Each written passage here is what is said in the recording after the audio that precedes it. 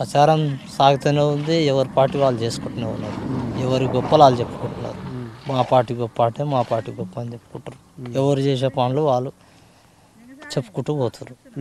ఈయన చేసిన ఆయన ఇది మాట్లాడుతుండు ఆయన చేసిన ఈయన మాట్లాడుతుండు వేల కోట్లు డబ్బులు వృధాగా పోతున్నాయి.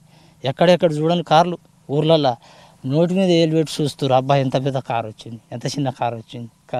రకరకాల బట్టలు వేసుకొని వస్తారు రకరకాల కటౌట్లు వేసుకొని వస్తారు రకరకాల వాగ్దానాలు ఇస్తారు పొద్దుగానే ఒక ఆయన మూడు వందలు ఇస్తుండు సాయంత్రం ఒక ఆయన ఐదు వందలు ఇస్తుండు.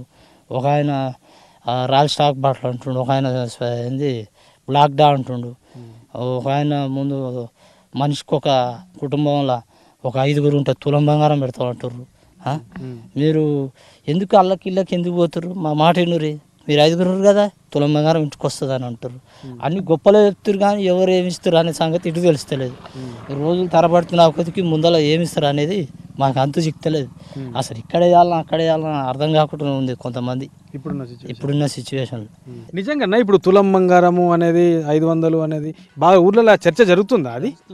నేతలు చెప్తురా ఎవరైనా వచ్చి చెప్తురా పార్టీ వాళ్ళు? చెప్పడం లేదు కానీ జనాలలో అయితే అలికిడి అయితే జరుగుతుంది. వాళ్ళు వచ్చి అలా ఏం చెప్పుకుంటారో మాకు తెలియదు కానీ కూర్చుంటుంటే గుంపులల్లా ఖచ్చితంగా మాట వెళ్తుంది. ఊర్లలో ఊళ్ళల్లో తులం బంగారం ఐదుగురు ఉంటే తులం బంగారం ఇస్తారంట. ఇట్లా ఓటుకు పదివేలు ఇస్తారట అనేది ఒక చర్చ నడుస్తూనే ఉంది. అట్లా. ఇప్పుడు వానలు పడుతున్నాయి కూలు లేవు వాళ్ళు వస్తుర్రు. వచ్చేవరకు ఏమమ్మా ఏం చేస్తున్నావు? సార్ వస్తుండు మేడం వస్తుంది. మనిషికి మూడు వందలు ఇస్తారంట ఐదు వందలు ఇస్తారంట. ఏ పా అట్లా పోయేదాంపా ఈ కూలే ఉంది కూలితోటే ఉంది. కూలి ఎప్పుడైనా వస్తుంది. పా అని చెప్పి వస్తుర్రు.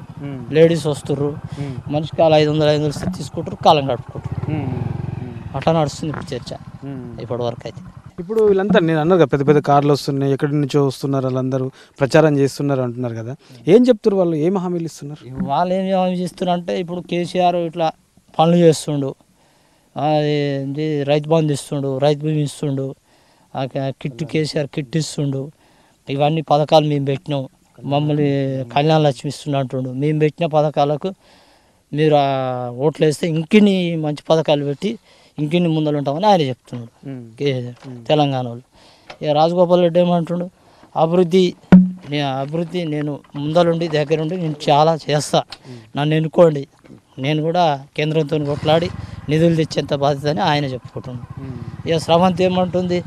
మా నాయన చేసిన పనులు చాలా ఉన్నాయి ముందల. ఇందిరం ఇండ్లు వచ్చినాయి. డబల్ రెండు రెండు రూమ్ల ఇల్లు వచ్చింది. మా నాయన వేసిన రోడ్లు వచ్చినాయి? వీధి వీధికి లైట్లు వచ్చినాయి. మా నాయన చేసిన పనులే అవుపిస్తున్నాయి అని ఆమె చెప్పుకుంటూ పోతుంది. ఇప్పటి వరకు అయితే అట్లా